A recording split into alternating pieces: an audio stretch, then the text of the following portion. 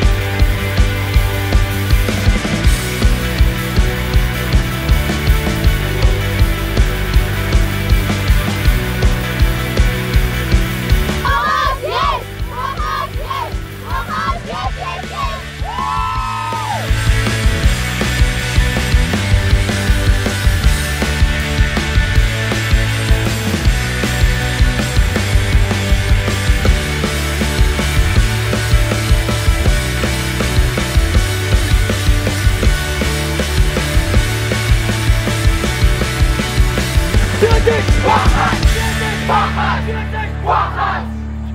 by Hoërskool Kraddock bied ons ook 'n wye verskeidenheid sport aan waarin die leerders hulle self kan uitleef in die buitelug. So the sport that we have at Kraddock High School is rugby, netball, hockey, both for boys and girls. We've got tennis, we've got and we have cricket.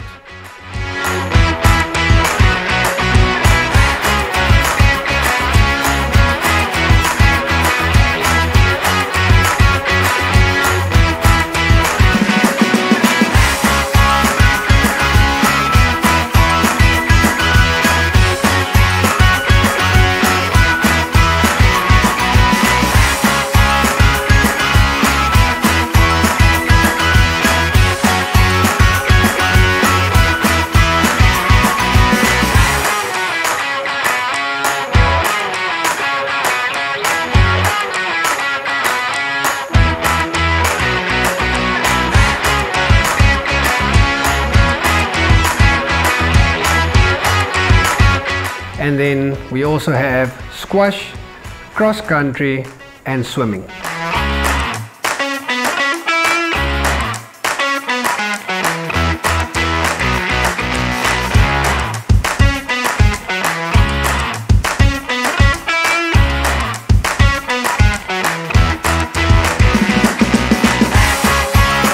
So hier by Hoërskool Kraddock is ons baie bevoorreg om 'n wye verskeidenheid van vakke aan te bied. In grade 8 and 9 we have all the compulsory subjects that is required by the Department of Basic Education. En dan in graad 10, 11 en 12 is ons bevoorreg genoeg om twee huistale te hê. So we have English home language en Afrikaans huistaal. Dan het ons ook die addisionele tale which is English uh, first additional language en Afrikaans eerste addisionele taal. Dan het ons wiskunde, wiskunde geletterdheid, lewensoriëntering. Then we start looking at physical sciences, economics, tourism, history, CAT. Dan het ons ook besigheidstudies, ekonomie, rekenkunde, aardrykskunde and then we also have EGD and consumer studies.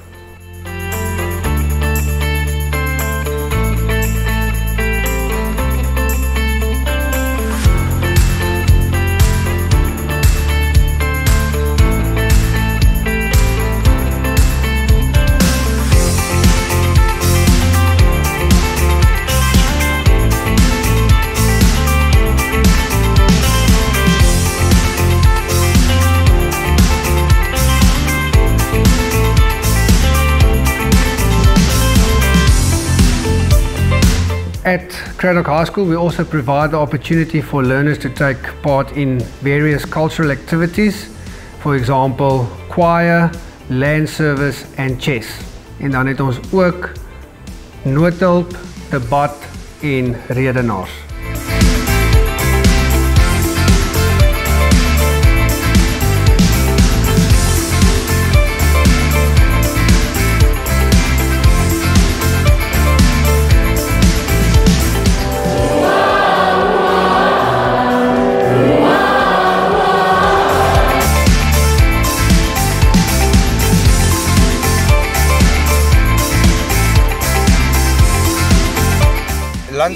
Is een van die kulturele aktiwiteite waar ons die kinders bietjie leer.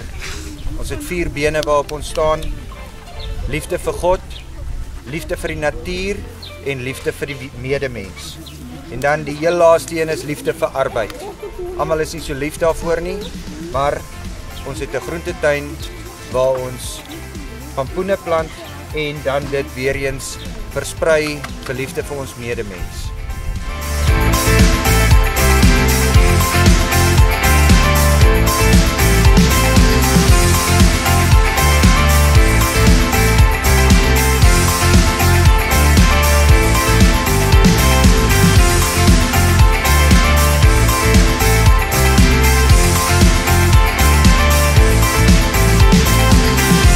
At Craddock High School, one of our main aims is to prepare learners for life after school.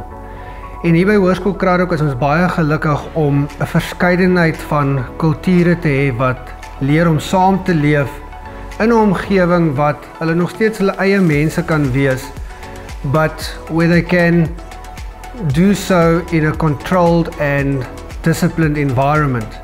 So if you are wondering what school or what high school to send your child to, or if you are wondering what high school that you as a learner want to go to, make Craddock High School your first choice of school.